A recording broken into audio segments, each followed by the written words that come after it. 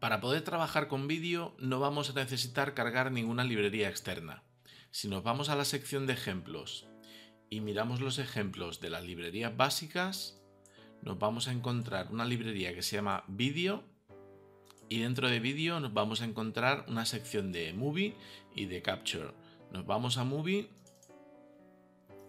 abrimos el ejemplo de Loop y lo que nos vamos a encontrar es que importa la librería de vídeo a la entrada, crea un objeto movie, dentro del objeto movie carga eh, un archivo, en este caso con la extensión .mob, y en el momento que ejecuta el loop empieza a reproducirse. Más tarde, después en el draw, lo único que hay que hacer es pintar una imagen que es la propia película. Y como el archivo movie se está reproduciendo, todo el tiempo se va a ir eh, refrescando y por lo tanto el draw va a pintar la imagen que le toca a cada momento.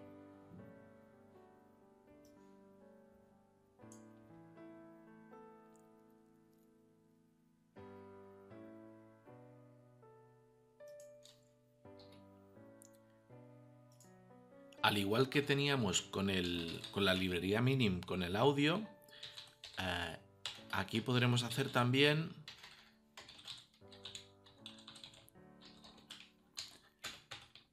el control de, la película utilizando pues lectura de teclas de teclado. Por ejemplo, le vamos a decir que con la P se empieza a reproducir, hacemos un movie.play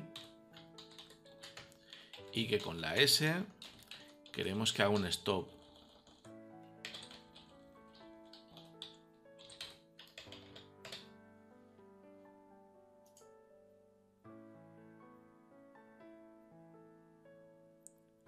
Con la S hace un stop, con la P hace un play, con la S stop, con la P play, incluso eh, podemos jugar con la velocidad. Podemos pedirle que por ejemplo cambie el speed y le vamos a decir que lo ponga pues a 4 y cuando pulsamos la S pues quiero que cambie el speed y lo ponga a 30 ejecutamos, se empieza a reproducir, al poner la P se acelera y la S se acelera mucho más. La P está a 4 veces su velocidad y la S está a 30 veces su velocidad.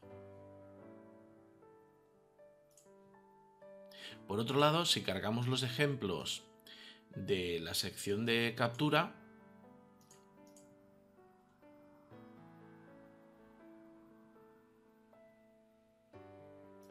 Vamos a cargar, por ejemplo, este de aquí.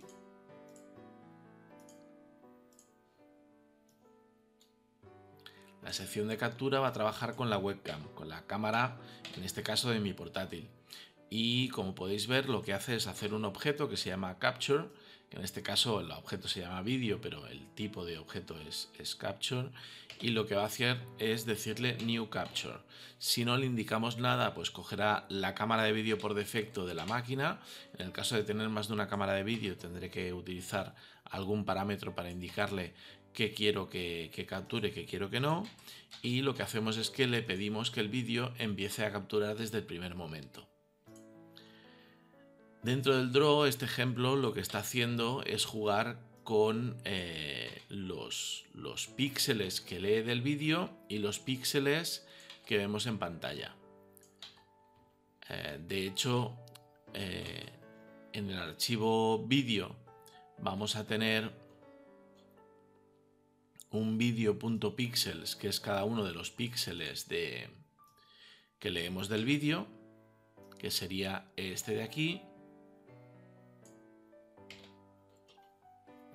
y el archivo pixels de i, que es el archivo de la imagen que se está representando en la pantalla. Entonces la forma de proceder cuando uno trabaja con, una webcam es la siguiente.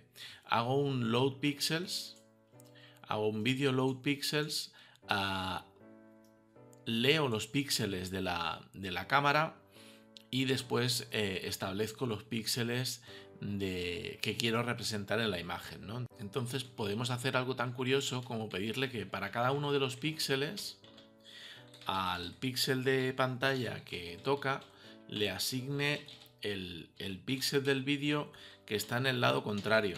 Así que lo que voy a hacer es, pues, del número total de píxeles, que creo que es numpixels, menos i, es decir, el, último píxel se le asignará al píxel número 1. ¿eh? Si tenemos, por ejemplo, un millón de píxeles, el píxel 0 tendrá el mismo valor que el píxel eh, número 1, con lo cual tendremos la imagen invertida.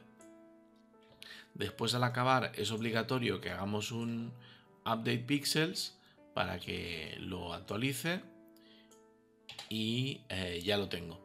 ¿De acuerdo? Entonces, este es el funcionamiento. Hemos simplificado un montón el ejemplo. Creamos un objeto de captura de vídeo. Le pedimos que empiece a capturar. Entonces, eh, a partir de ese momento, lo que vamos a hacer es leer el vídeo y ese conjunto de píxeles que hemos leído del vídeo lo pasamos dentro del conjunto de píxeles que se pinta en la pantalla.